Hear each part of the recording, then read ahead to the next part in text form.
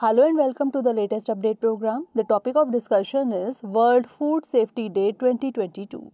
World Food Safety Day is celebrated annually on 7th June.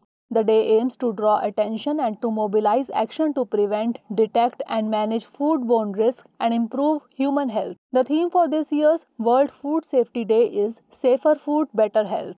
WHO also launched a campaign to inspire global participation. The day is marked by the World Health Organization, that is WHO, annually. Now, moving on to the history and significance. The United Nations General Assembly established World Food Safety Day in 2018. The day was established to raise awareness of vital food safety issues.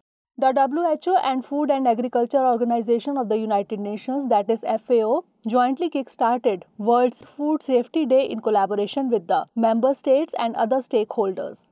Significantly, this year, that is 2022, is the fourth World Food Safety Day. Now let's discuss about foodborne illnesses. They are caused by the contamination of food and occur at any stage of the food production, delivery and consumption chain.